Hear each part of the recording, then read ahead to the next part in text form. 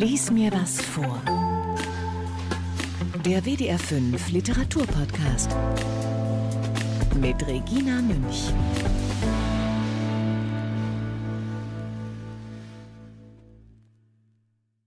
Im Hallengang war es inzwischen von allen Seiten, in allen Ecken lebendig geworden, und einige Minuten lang schwirrte es dort durcheinander gleich einem Mückenschwarm in der Maisonne. Dann schwächte sich der Lärm ab, die Klassentüren fielen ins Schloss.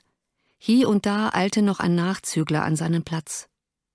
Einzelne Lehrer, sämtlich in dunkelblauem Frack, der für diese Schulen vorgeschriebenen Uniform, schritten grüßend aneinander vorüber oder blieben, ein paar Worte wechselnd, im Gange stehen. In Eriks Klasse war alles schon mäuschenstill und in schönster Ordnung beisammen, als er mit belebtem Gesichtsausdruck hereintrat. Einen Augenblick lang ließ er, auf dem Katheder stehend, seinen Blick über die blonden und braunen Mädchenköpfe schweifen, die fast alle mit lebhaften und aufmerksamen Augen zu ihm aufschauten. Obgleich er erst zum zweiten Mal auf diesem Platz und seinem jungen Auditorium gegenüberstand, fühlte er doch schon sehr deutlich die Stimmung der Sympathie, die ihm aus allen diesen Augen entgegenleuchtete. Er verdankte sie seinem eigenen Entgegenkommen, denn die da merkten recht wohl das tatsächliche Interesse, das er ihnen als Lehrer zubrachte, den Blonden wie den Braunen, den Klugen wie den Dummen, den Willigen wie den Widerspenstigen. Welche Fehler er auch besitzen mochte, einen wenigstens besaß er nicht, seinen Unterricht wie eine leblose Pflichtmaschine zu absolvieren. Erik schob die blauen Hefte an den Rand des Kathederpultes und sagte, sich niedersetzend, Die Hefte können wieder verteilt werden. Sie sind zum größeren Teil recht bedauerlichen Inhalts.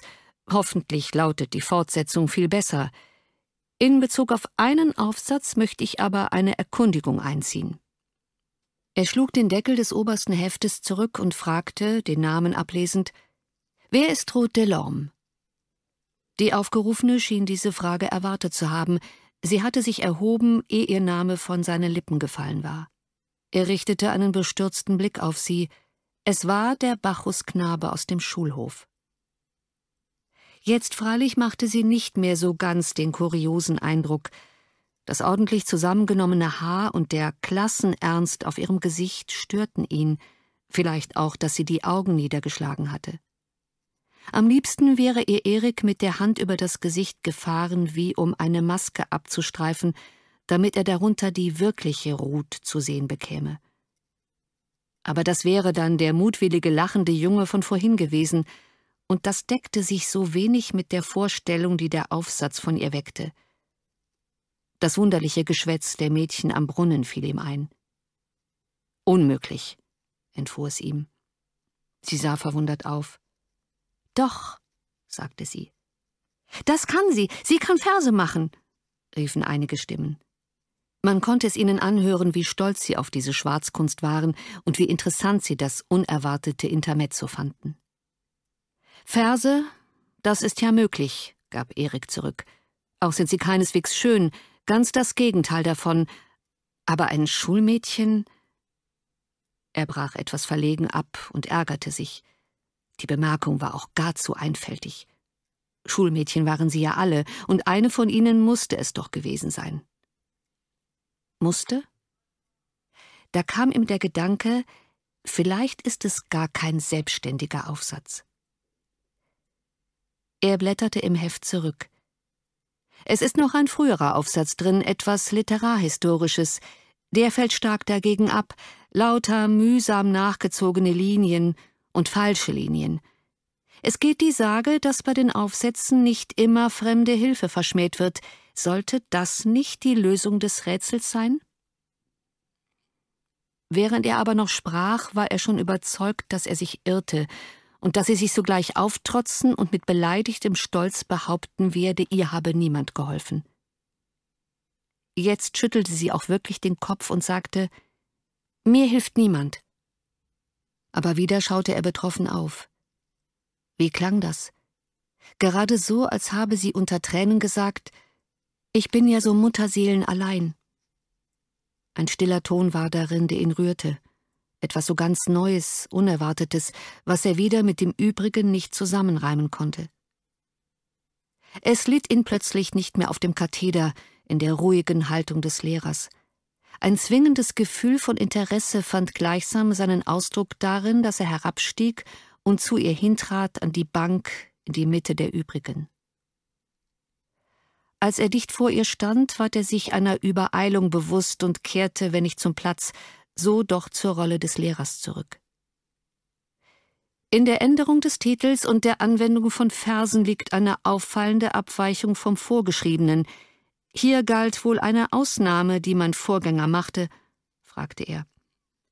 Er zog sie vor, sie durfte tun, was sie wollte, schrien einige. Sie gehört nicht mehr zur Schule, sie kommt nur zu einigen Stunden, riefen andere. Ich gehe bald fort, sagte Ruth. Fort? Vom Ort? fragte er, und ein brennendes Bedauern überfiel ihn. Sie hob die Augen. Nein, nur aus den Stunden. Wie beider Blicke sich trafen, sah er ihr Gesicht aufleuchten. Nicht nur die Augen taten's, das Leuchten ging über Stirn und Augen wie ein Lächeln, obschon sie ernst blieb. Der Klassenausdruck fiel von ihren Zügen wie ein vorgehaltener Schleier. Er gab ihr einen Wink, sich zu setzen. Das ist sehr schade, meinte er dann, ein paar Mal auf und ab gehend, und es war ihm selbst nicht klar, für wen es eigentlich schade sei, ob für den Lehrer oder für die Schülerin oder für alle beide. Doch setzte er rasch hinzu, es ist zu früh, ein Zeichen von Reife ist der Aufsatz nicht. Dann richtete er mit dem Aufnehmen des Unterrichts keine Bemerkung mehr an sie, vermied es auch während der Stunde ihren Namen aufzurufen, obgleich es ihn beschäftigte, dass sie fortgehen wollte.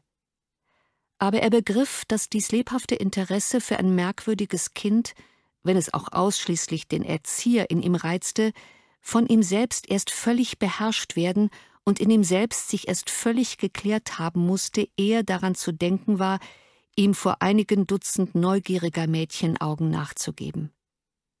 Er kannte sehr wohl die üblichen Schwärmereien für den Lehrer, zweifelte auch nicht daran, dass auch er bereits Gegenstand solcher Schwärmereien sei, hielt aber doch möglichst daran fest, sich nicht durch sein Benehmen zu verraten, wenn einmal eine kleine Schülerin Eindruck auf ihn machte, was doch unvermeidlich geschah unter Menschen von Fleisch und Blut.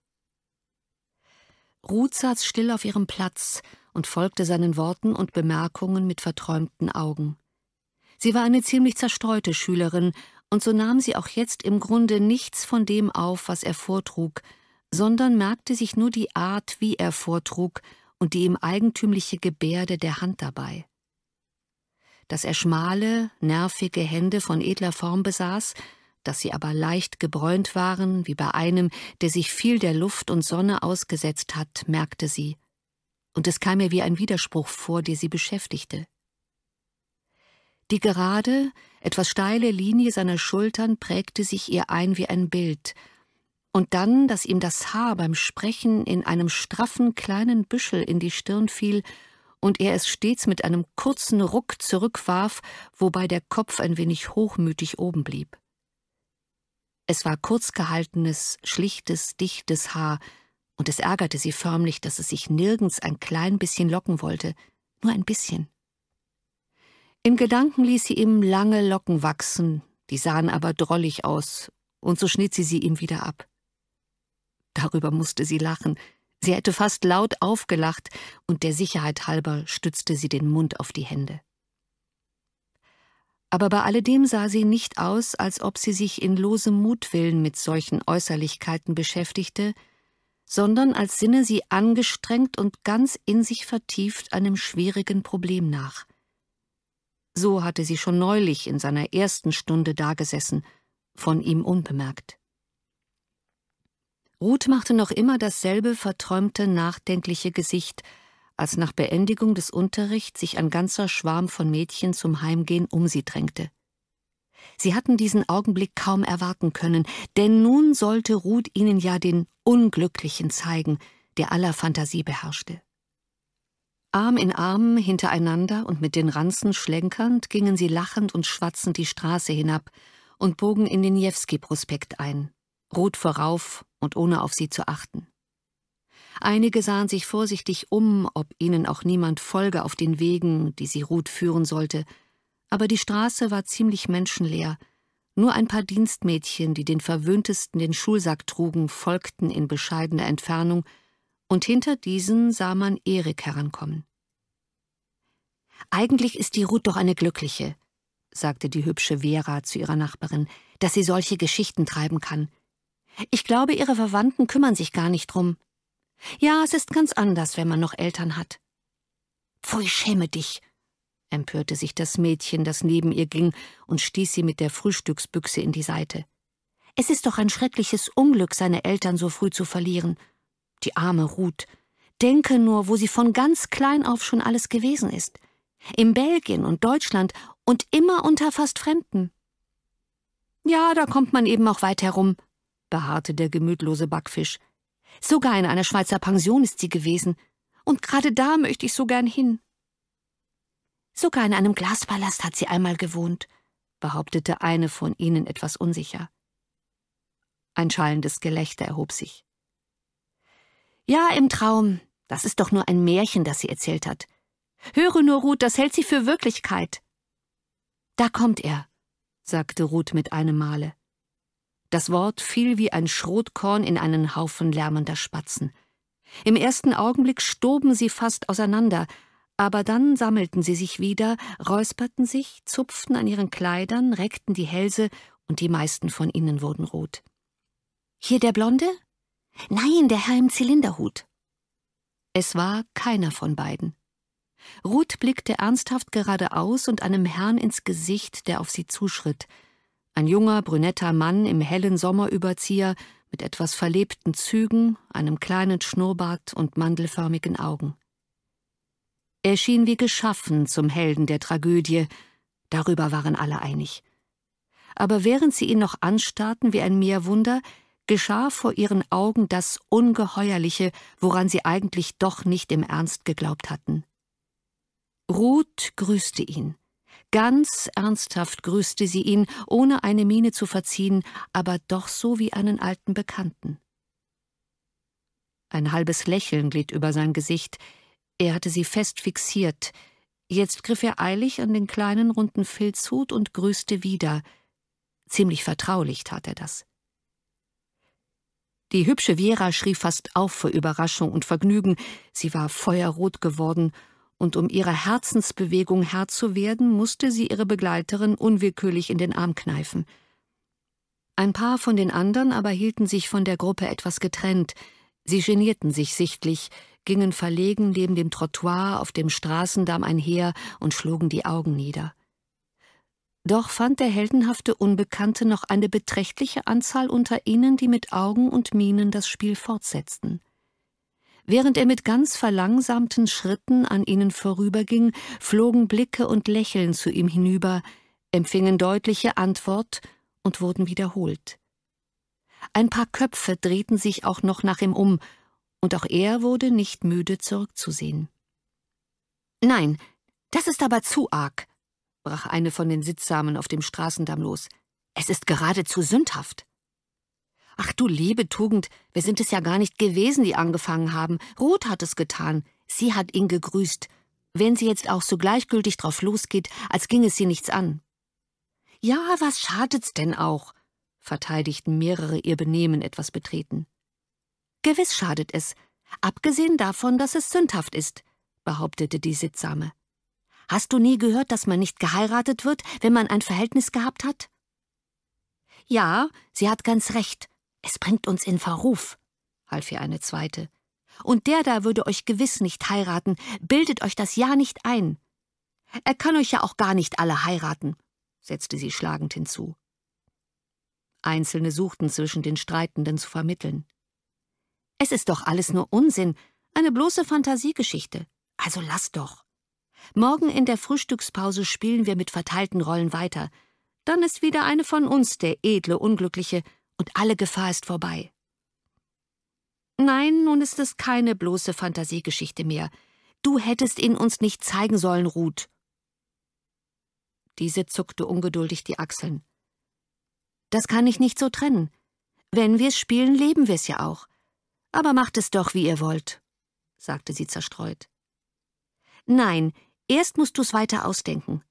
Eigentlich ist es auch sehr lustig. Gerade als ob man zweimal lebte. Einmal zu Hause und in der Schule und dann noch einmal ganz woanders, wo alles gerade so ist, wie man sich's ausdenkt. Aber diesen Weg wollen wir lieber nicht wiedergehen. Ach, seid ihr Feiglinge, rief Jera dazwischen, die sich bis jetzt nicht am Streit beteiligt hatte, weil sie sich noch mit dem Unglücklichen zu tun gemacht hatte, der irgendwo an einer Straßenecke stehen geblieben war. Ich finde diese Geschichte tausendmal interessanter als all die Fantastereien drumherum. Was hat man denn von denen? Sie amüsieren uns nur, wenn man uns eingesperrt hält. Über ihrem Hin- und Herreden beachteten sie es gar nicht, dass sie an Ruths Wohnung am Isaaksplatz angelangt waren. Das heißt, dass die meisten von ihnen sich recht beträchtlich von ihrem eigenen Heim entfernt hatten. Sie liefen gewohnheitsmäßig mit wie eine Hammelherde. Ruth selbst aber war geradewegs nach Hause gegangen. Jetzt blieb sie zaudernd stehen und kämpfte zwischen der Lust, in eine Seitenstraße einzubiegen und der Notwendigkeit, zur gewöhnlichen Stunde bei ihren Verwandten einzutreten. Bis zu Tisch blieb noch viel Zeit, einen Vorwurf zog sie sich nicht zu, und was ihr jetzt vorschwebte, war süß und lockend gleich einem Frühlingsmärchen. Aber es gab da etwas anderes, was sie zurückhielt. Wenn sie jetzt hineinging, so blieb sie, wie immer, gänzlich unbemerkt und unbeachtet im ganzen Hauswesen. Wenn sie dagegen bis zum späten Mittagessen fortblieb, so wurde sie vielleicht bemerkt, befragt, belästigt. Und das entschied. Wie eine jener kleinen Insekten, die zum Schutz vor feindlichen Mächten die Farbe des Holzes oder des Laubes annehmen, auf dem sie sitzen, so verhielt sich, halb unbewusst, auch Ruth gegenüber ihrer Umgebung. Es war ihre Art, sich zu wehren. Ruth löste sich aus der schwatzenden Mädchengruppe und verschwand hinter den hohen Türflügeln eines umfangreichen steinernen Gebäudes, vor dem ein Soldat Wache stand. Eine Abteilung des Kriegsministeriums lag darin, nebst mehreren großen Kronswohnungen, wovon Ruths Onkel, der Staatsrat war, eine innehatte.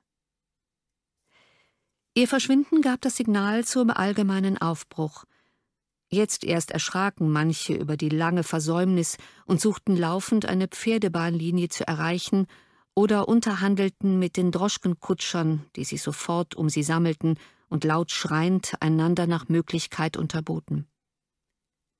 Bis morgen vermissten sie Ruth nicht mehr. Sie hatten sich ausgezeichnet unterhalten, sich ordentlich echauffiert. Morgen, wenn sie nach neuer Nahrung begierig waren, kam sie wieder.